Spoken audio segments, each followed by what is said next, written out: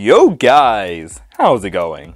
So wouldn't it be cool if you can watch YouTube videos in a pop-up window on your phone while you're doing other things?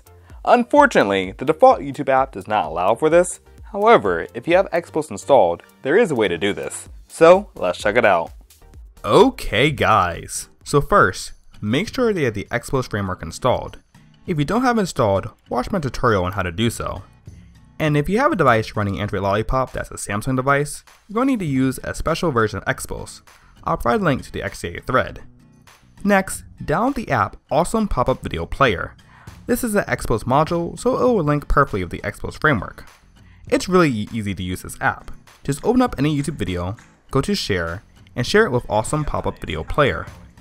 It will create a floating window that you can resize, move around, and just use within any other app. Now this does not affect your performance in any way, so your device should be able to handle this.